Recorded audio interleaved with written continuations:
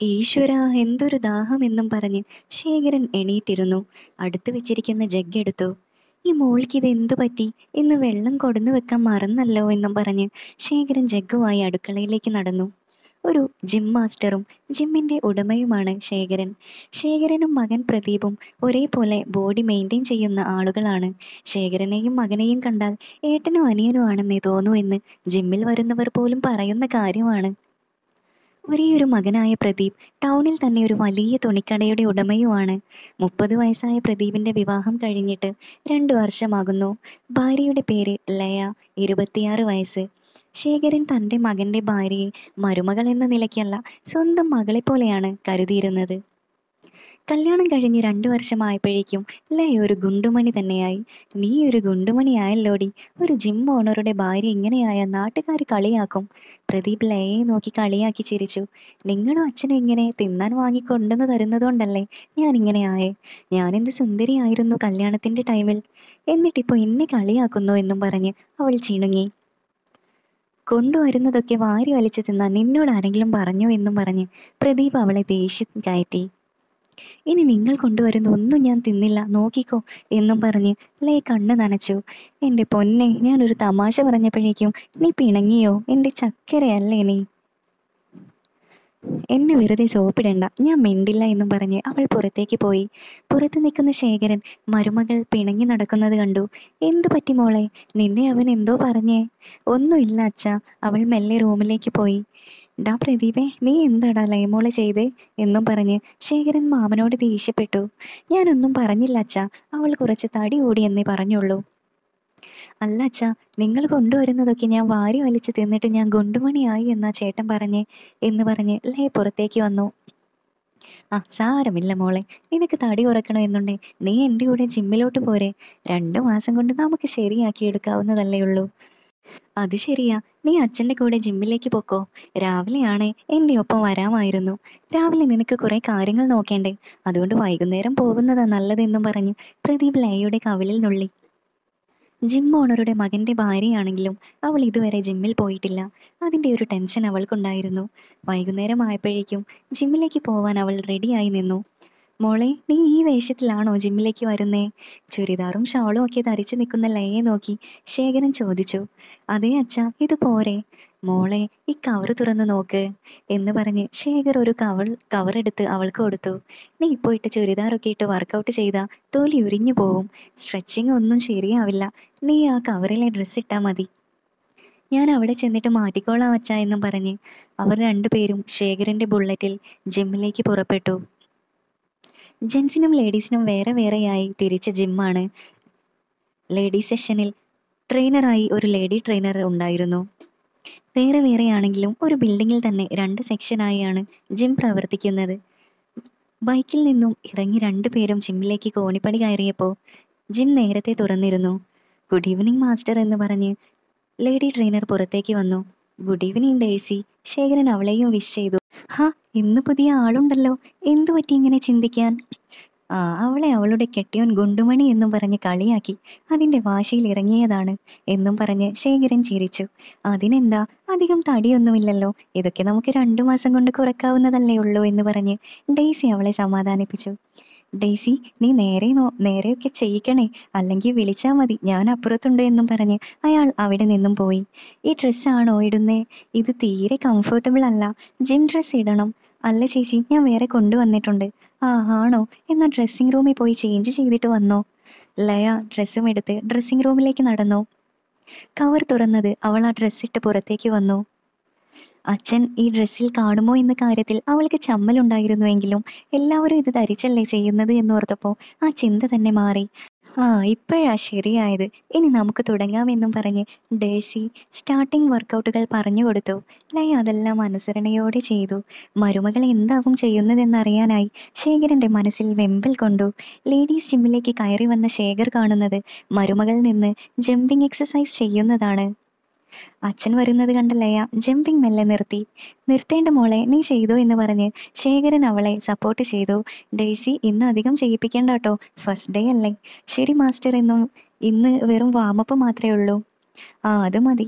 മോളെ നേരെ ചെയ്യട്ടോ. നമുക്ക് അവനെ നിന്നെ സ്ലിം ബ്യൂട്ടി എന്ന് വിളിപ്പിക്കണ്ടേ? ശേഖരൻ ചിരിച്ചുകൊണ്ട് പറഞ്ഞു. ലയ തലയിൽ നിന്നും ഒഴുകുന്ന വിയർപ്പ് കണങ്ങൾ. തന്റെ ടവൽ കൊണ്ട് ഒപ്പിയെടുത്തുകൊണ്ട് ശേഖരനെയും ഡേയ്സിയെയും നോക്കി ചിരിച്ചു. ഒരു സെറ്റും കൂടെ ഒരു സെറ്റും കൂടെ പോരെ ചേച്ചി എന്ന് ചോദിച്ച് ലൈ അവരുടെ കാരുണ്യത്തിനായി കാത്തുനിന്നു ഫസ്റ്റ് ഡേ ആയതുകൊണ്ട് അത് മതി ഡേഴ്സി പറഞ്ഞു. ഹൗ ആശ്വാസമായി. ഇതും പറഞ്ഞ് ലയ നെടുവീർപ്പിട്ടു. മരുമകൾ ഈ വേഷത്തിൽ കണ്ടതു മുതൽ ജിമ്മിൽ വരുന്ന എല്ലാ സുന്ദരികളോടും തോന്നുന്ന വികാരം ശേഖരന്റെ മനസ്സിൽ പൊട്ടിമുളച്ചു ശേഖരന്റെ കണ്ണ് പോയെങ്കിലും അത് അപ്പൊ തന്നെ പിൻവലിച്ച് ശേഖർ പുറത്തേക്ക് പോയി. ആ വേഷത്തിൽ കണ്ടപ്പോൾ ശേഖരന്റെ മനസ്സിൽ ആദ്യമായി മരുമകളോട് ആവശ്യമില്ലാത്ത ചിന്തകൾ പൊട്ടിമുളക്കാൻ തുടങ്ങി. ജിമ്മിൽ ഒരുപാട് സ്ത്രീകൾ ഇതിലും കുറഞ്ഞ വസ്ത്രം ഇട്ടു വരുന്നത് പോലും അപ്പോഴൊന്നും തോന്നാത്ത എന്തോ വികാരം തന്റെ മരുമകളെ കണ്ടപ്പോൾ ശേഖരന്റെ മനസ്സിലേക്ക് കടന്നു വന്നു. ശേഖരന് അവളെ വീണ്ടും വീണ്ടും കാണാനുള്ള പ്രേരണ വന്നുകൊണ്ടേയിരുന്നെങ്കിലും ശേഖരൻ തന്റെ മകനോട് ചെയ്യുന്ന ഏറ്റവും വലിയ ചതിയാവുമെന്ന് മനസ്സിലാക്കി മനസ്സിനെ സ്വയം നിയന്ത്രിച്ചു. അങ്ങനെ രണ്ടു മാസം പോയതറിഞ്ഞില്ല. രണ്ടു മാസം കഴിഞ്ഞപ്പോഴേക്കും ലയ ഒമ്പത് കിലോ തൂക്കം കുറച്ച് സുന്ദരിയായി മാറി. മകനെ കരുതി കരുതി മാറ്റിവെച്ച ചിന്തകളെല്ലാം ഓരോ ദിവസം കഴിയുന്തോറും ശേഖരൻ മറന്നുകൊണ്ടിരുന്നു. എന്നും മരുമകളോടൊപ്പം ഉള്ള യാത്രയും ട്രെയിനിങ്ങും എല്ലാം അയാളുടെ ചിന്തകൾക്ക് വളമിട്ടുകൊണ്ടേയിരുന്നു. താൻ അവളെ തെറ്റായ രീതിയിൽ നോക്കുന്ന കാര്യം അവൾ അറിയാതിരിക്കാൻ ശേഖരൻ ശ്രദ്ധിച്ചിരുന്നു. ഒമ്പത് കിലോ കുറച്ചപ്പോഴേക്കും ലയ സൗന്ദര്യറാണി തന്നെയായി മാറിയിരുന്നു. ഇത്രയും സൗന്ദര്യവും ദൈവം നൽകിയ ഒരു സ്ത്രീയും ആ ജിമ്മിൽ ശേഖരന്റെ കുടുംബത്തിലോ അറിവിലോ ഉണ്ടായിരുന്നില്ല. അത് ശേഖരന് അഭിമാനവും പുത്തൻ ഉണർവും നൽകി ജിം ഡ്രസ്സിൽ വർക്കൗട്ടുകളെല്ലാം അനായാസം ചെയ്യുന്ന മരുമകളെ നോക്കി ശേഖരൻ വെള്ളം ഇറക്കി നിന്നു. ഓരോന്ന് ആലോചിച്ചു നിൽക്കുന്ന സമയത്താണ് അച്ഛാ ഒന്ന് സപ്പോർട്ട് ചെയ്യാമോ എന്ന മരുമകളുടെ കിളിനാദം ശേഖരന്റെ കാതുകളിൽ എത്തുന്നത്. താൻ കേൾക്കാൻ ആഗ്രഹിച്ചിരിക്കുന്ന കാര്യം കേട്ടതും അതിനെന്താ മോളെ എന്നും പറഞ്ഞ് ശേഖരൻ അവളുടെ അടുത്തേക്ക് പോയി. ചെസ്റ്റിനുള്ള ബെഞ്ച് പ്രസ് ചെയ്യാനുള്ള അവൾ ബെഞ്ചിൽ ടവൽ വിരിച്ചു. വെയിറ്റ് എല്ലാം സെറ്റ് ചെയ്ത് അവൾ ബെഞ്ചിൽ കിടന്നു. അച്ഛൻ സപ്പോർട്ട് ചെയ്യ്. മരുമകളുടെ ശബ്ദം കേട്ടതും ശേഖരൻ ബാറിൽ സപ്പോർട്ടിനായി പിടിച്ചു. മോളെ ഈസി വൺ ടു എന്ന് പറഞ്ഞ് ശേഖരൻ സപ്പോർട്ട് ചെയ്തു. പന്ത്രണ്ട് തവണ ആക്കിയപ്പോഴേക്കും അവൾക്ക് ഉയർത്താൻ വയ്യാതെയായി. മതി അച്ഛ എനിക്ക് സാധിക്കുന്നില്ല. അവൾ സഹി കെട്ട് പറഞ്ഞു മൂന്നെണ്ണം കൂടെ മോളെ ഞാൻ ഫുൾ സപ്പോർട്ട് തരാം. നീ ശ്രമിക്കുക എന്ന് പറഞ്ഞ് ശേഖരൻ ബാറിൽ ഫുൾ സപ്പോർട്ട് കൊടുത്തു. ലൈ ശ്വാസം വലിച്ചു വിട്ട് ബാർ ഉയർത്തി തിരിച്ച് ഇറക്കുമ്പോൾ കയ്യിന് സ്വാധീനമില്ലാത്ത പോലെയായിരുന്നു. ബാർ താഴെ ഹോൾഡർ ഹോൾഡ് ചെയ്യാൻ അവൾക്ക് സാധിച്ചില്ല. അയാൾ വേഗം ബാർ എടുത്ത് സ്റ്റാൻഡിൽ വെച്ചു. കൈ അറിയാതെ തട്ടിയതാണെങ്കിലും ശേഖരൻ മനസ്സിലാഗ്രഹിച്ച കാര്യം തന്നെയായിരുന്നു അത്. അപ്പോഴേക്കും ജെൻസിന്റെ ജിമ്മിൽ നിന്നും ആളുകൾ വിളിക്കുന്നത് കൊണ്ട് ശേഖരൻ അങ്ങോട്ട് പോയി. അച്ഛന്റെ കൈ തട്ടിയത് അവൾ അറിഞ്ഞെങ്കിലും അത് അവൾ കാര്യമായി എടുത്തിരുന്നില്ല. അങ്ങനെ അന്നത്തെ വർക്കൗട്ട് എല്ലാം കഴിഞ്ഞ് ഇന്നത്തെയും പോലെ അവൾ അച്ഛനെ വിളിച്ചു. ശിഷ്യനെ ജിം നോക്കാൻ ഏൽപ്പിച്ച് ശേഖരൻ മരുമകളെയും കൂട്ടി വീട്ടിലേക്ക് പുറപ്പെട്ടു. മോളെ ഇപ്പോൾ നിന്റെ ശരീരത്തിലുള്ള ഫാറ്റ് എല്ലാം പോയി. ഇനി ഓരോ വർക്കൗട്ടും ഒന്നും ഡയറ്റും ഒന്നും വേണ്ട. ഇനി ശരീരം മെയിന്റെയിൻ ചെയ്താൽ മതി. ശരിയാ ഇനിയും കുറച്ച് ഞാൻ വെറും എലുമ്പത്തിയാകും എന്ന് പറഞ്ഞ് അവൾ ചിരിച്ചു. ഇനി നിന്റെ കെട്ടിയോൻ എങ്ങനെ ഗുണ്ടുമടി എന്ന് വിളിക്കും? ഇപ്പൊ മോൾ സുന്ദരിയായല്ലോ. അയാൾ മരുമകളുടെ സൗന്ദര്യത്തെ മനഃപൂർവം വർണിച്ചുകൊണ്ടിരുന്നു. അമ്മായിയച്ഛന്റെ വാക്കുകൾ അവൾക്ക് പുതിയ അനുഭൂതി നൽകി. സ്വന്തം സൗന്ദര്യത്തെ വർണിക്കുന്നത് ഏത് സ്ത്രീക്കും ഇഷ്ടമുള്ള കാര്യമാണല്ലോ. മോളെ നല്ല മഴ വരുന്നുണ്ടല്ലോ. ആകാശത്തുള്ള ഇടിമിന്നൽ നോക്കി ശേഖരൻ പറഞ്ഞു സാരമില്ല അച്ഛ നമുക്ക് വേഗം പോകാം. ജിം ഡ്രസ് അല്ലേ? അത് നനഞ്ഞാലും കുഴപ്പമില്ല. ഇനി ചെന്നിട്ട് കുളിക്കാനുള്ളതല്ലേ? ഇടി ഉണ്ടാവാതിരുന്നാ മതി. അതാ എനിക്ക് പേടി. ഇത്ര പോന്നിട്ട് നിനക്ക് പേടി? ഇടി പേടിയാണോ മോളെ? ശേഖരൻ മരുമകളെ കളിയാക്കിക്കൊണ്ട് ചിരിച്ചു. മരുമകളുടെ നിശബ്ദത ശേഖരനിൽ അസ്വസ്ഥത സൃഷ്ടിച്ചു. എന്തു പറ്റി മോളെ? ഞാൻ വെറുതെ പറഞ്ഞതല്ലേ? സത്യം പറഞ്ഞാ എനിക്കും ഇടി പേടിയാ. നീ ആരോടും പറയണ്ട. മരുമകളെ സമാധാനിപ്പിക്കാനായി ശേഖരൻ നുണയെ അങ്ങോട്ട് തട്ടിവിട്ടു. അത് കേട്ടതും ലയ അച്ഛനെ കളിയാക്കി ചിരിക്കാൻ തുടങ്ങി. അവർ സംസാരിച്ചിരിക്കുന്നതിനിടയിൽ പെട്ടെന്ന് മഴ പെയ്യാൻ തുടങ്ങി. വേനൽ മഴ ആയതുകൊണ്ട് ഓരോ മഴത്തുള്ളിയും ഒരു ഗ്ലാസ് വെള്ളത്തിന്റെ വലിപ്പം ഉണ്ടായിരുന്നു. എവിടെയെങ്കിലും നിർത്തണോ മോളെ? വേണ്ട അച്ഛ ഇനി കുറച്ചല്ലേ ഉള്ളൂ. നമുക്ക് നനഞ്ഞു പോകാം. എനിക്ക് ഇടിയേ പേടിയുള്ളൂ. മഴ നനയുന്നത് ഇഷ്ടവാ. അവൾ തന്റെ ആഗ്രഹം അച്ഛനോട് പറഞ്ഞു. ശേഖരനും ലയയും നനഞ്ഞു കുളിച്ചു. പെട്ടെന്നുണ്ടായ ഇടിയിൽ ലയ ഞെട്ടി വിറച്ചു. അവൾ അമ്മായിയച്ഛനെ ചാരിയിരുന്നു. ആ മഴയിലും അയാളുടെ ശരീരം ചൂട് പിടിച്ചു തുടങ്ങിയിരുന്നു. വീടെത്താനായപ്പോഴേക്കും മഴയുടെ ലക്ഷണം പോലും കാണാനുണ്ടായിരുന്നില്ല. ഇന്നൊന്ന് സുഖമായി ഉറങ്ങാമെന്ന് കരുതിയതാ ഇവിടേക്ക് ഒരു തുള്ളി പോലും പെയ്തിട്ടില്ലല്ലോ. ലയ മഴയോടുള്ള ദേഷ്യം പ്രകടിപ്പിച്ചു. നീയൊക്കെ അല്ലേ നാട്ടിൽ താമസിക്കുന്നേ? പിന്നെ എങ്ങനെ പെയ്യാനാ? ശേഖരൻ മരുമകളെ ഒന്ന് കളിയാക്കി. ഞാൻ മാത്രമല്ലല്ലോ അച്ഛനും ഇവിടെ തന്നെയല്ലേ. അത്രയ്ക്ക് നന്ന് അച്ഛന്റെ മുഖം അവളും അതേപോലെ തിരിച്ചടിച്ചു. അങ്ങനെ ഓരോന്നും പറഞ്ഞ് തറക്കിച്ച് അവർ വീട്ടിലെത്തി. ലയ ബൈക്കിൽ നിന്നും ഇറങ്ങി. അവളുടെ ടീഷർട്ട് എല്ലാം നനഞ്ഞൊട്ടിയിരുന്നു അവൾ അച്ഛൻ കാണാതിരിക്കാനായി വേഗം ഉള്ളിലേക്ക് കയറി. മോളെ വേഗം പോയി കുളിക്ക്. അല്ലെ പനി പിടിക്കും? ശേഖരൻ അവളോട് പറഞ്ഞു. അച്ഛാ അച്ഛനും നനഞ്ഞില്ലേ? ഇനി പോകുന്നുണ്ടെങ്കിൽ കുളിച്ചിട്ട് പോയാൽ മതി. ഇനി ഞാനിന്ന് പോകുന്നില്ല മോളെ. പ്രദീപ് വരുമ്പോൾ ചാവി കൊണ്ടുവരാൻ പറയാമെന്നും പറഞ്ഞ് അയാൾ ബാത്റൂമിൽ കയറി. അയാൾ വേഗം കുളിച്ച് ഫ്രഷായി പുറത്തേക്ക് ഇറങ്ങി. മോളെ നീ എവിടാ? ശേഖരൻ മരുമകളെ തിരക്കി ഹാളിലേക്ക് ചെന്നു. ഞാൻ അടുക്കളയിൽ ഉണ്ടച്ച രാത്രിയിലേക്കുള്ള ചപ്പാത്തി ഉണ്ടാക്കുക അത് കേട്ടതും ശേഖരൻ മെല്ലെ അടുക്കളയിലേക്ക് നടന്നു.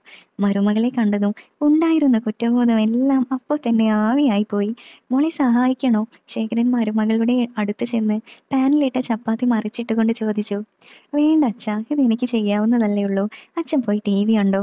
നീ ഇവിടെ ഇങ്ങനെ കഷ്ടപ്പെടുമ്പോൾ ഞാൻ എങ്ങനെ ടി വി പോയി കാണും മോളെ?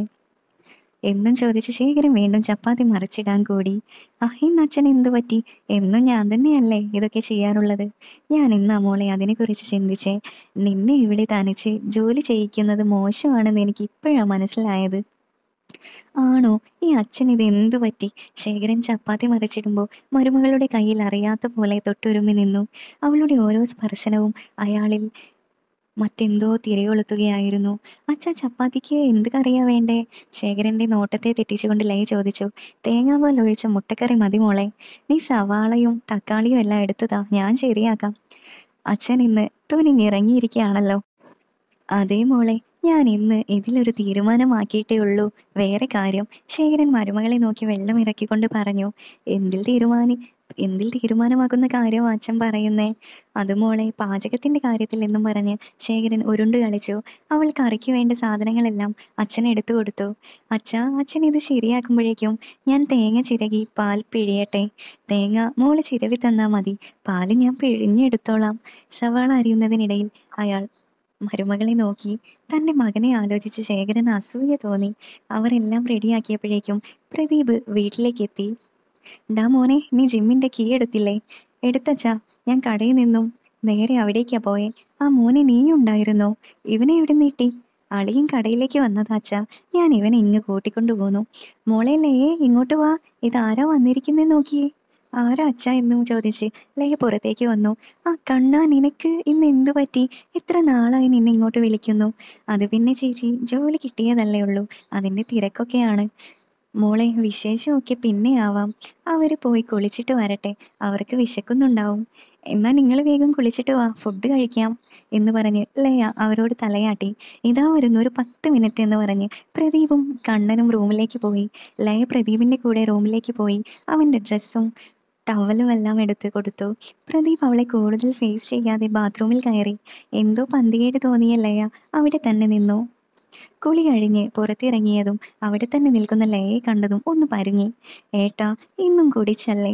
ഇനി ഞാൻ നിങ്ങളോടൊന്നും പറയുന്നില്ല. ചെറിയ കുഞ്ഞൊന്നും അല്ലല്ലോ. കഴിഞ്ഞ പ്രാവശ്യം കിഡ്നി സ്റ്റോൺ ഉണ്ടായപ്പോൾ ഡോക്ടർ പറഞ്ഞതല്ലേ? ചേട്ടന് ഓർമ്മ ഇല്ലേ അതൊന്നും? എന്താ അച്ഛാ ചെയ്യ് ഞാൻ ഇനിയൊന്നും പറയാൻ വരില്ല എന്ന് പറഞ്ഞ് അവൾ ദേഷ്യത്തോടെ അടുക്കളയിലേക്ക് പോയി. അവൻ അവളുടെ പിന്നാലെ അടുക്കളയിലേക്ക് പോയി.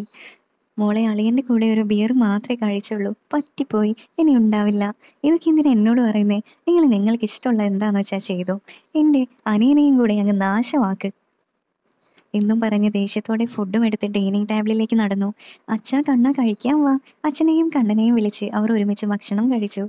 അവളുടെ ദേഷ്യം അച്ഛനും അച്ഛന്റെയും കണ്ണന്റെയും മുന്നിൽ അവൾ കാണിച്ചില്ല. ഭക്ഷണം കഴിച്ചു കഴിഞ്ഞ് കുറച്ചു നേരം ടി വി കണ്ടിരുന്ന് പത്ത് മണി ആയപ്പോഴേക്കും അവർ കിടക്കാനായി പോയി. അവളുടെ ദേഷ്യം അപ്പോഴും മാറിയിരുന്നില്ല. അവർ രണ്ടുപേരും ഓരോന്ന് പറഞ്ഞ് വാക്കുതർക്കമായി അവൾ അവനോട് തെറ്റി നേരെ സോഫയിൽ വന്ന് കിടന്നു. മരുമകളുടെ കിടത്തം കണ്ടതും വെള്ളത്തിനായി ഇറങ്ങി വന്ന ശേഖരന്റെ തൊണ്ടയൊന്നു വറ്റി.